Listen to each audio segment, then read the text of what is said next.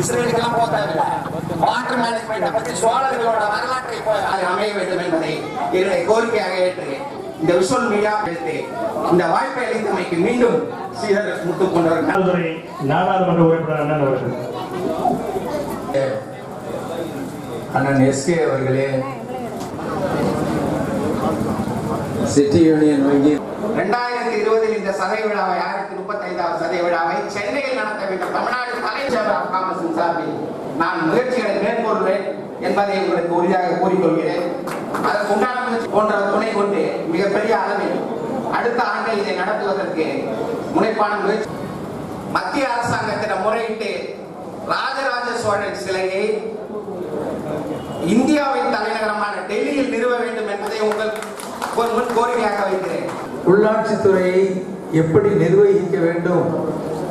மக்கள் பிரதிநிதிகளை எப்படி தேர்வு செய்ய வேண்டும் என்பதற்கு உத்தரமேரூர் கல்வெட்டு தான் நமக்கு இருக்கக்கூடிய ஆதாரம். ஜனநாயகத்தினுடைய அடித்தட்டு இந்த உள்ளாட்சி அமைப்புகள். இந்த மூத்த ஐஏஎஸ் அதிகாரி. கோயில் இடப்புறம் சிலை இன்று உள்ளே இருக்கிறது. கோயில் வளாகத்தில் உள்ளே இருக்கிறது. ஆயிரம் சிலை வெயிலிலும் மழையிலும் வெளியில் நின்று கொண்டிருக்கிறது. நினைக்கிறேன் அதை அனைவரும் வழிமொழிவீர்கள் என்று நினைக்கிறேன். நான் என்னுடைய முயற்சியாக நான் சென்னை துறைமுகம் அரசாங்கத்தின் திரைப்படத்துறையில் வரும் ஆனால் இன்றைக்கு யார் கலாச்சாரத்தை பற்றி பேசி ட்ரம்ப் வந்தாலும் சரி சைனா பிரைம் மினிஸ்டர் வந்தாலும் சரி எல்லாமே வணிக அடிப்படையில் தான் அவர் கட்ட கோயில் இன்னும் இருக்குது.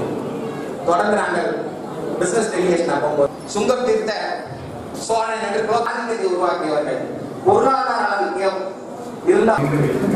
மாமன்னன் சோழராஜன். மாமன்னன்.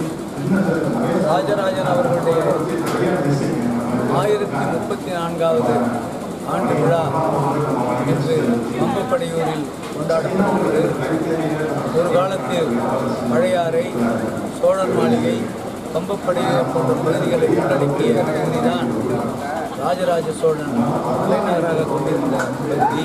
இன்றைய தினம் அவருடைய பெருமைகளை எல்லாம் பேசுகிறோம்.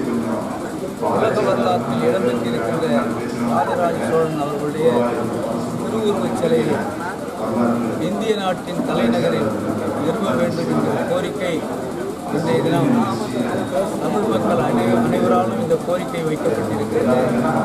அவருடைய திருவுருவச் சிலையை டெல்லி பாராளுமன்ற வளாகத்திலும் தலைநகராகிய டெல்லியிலும் அதை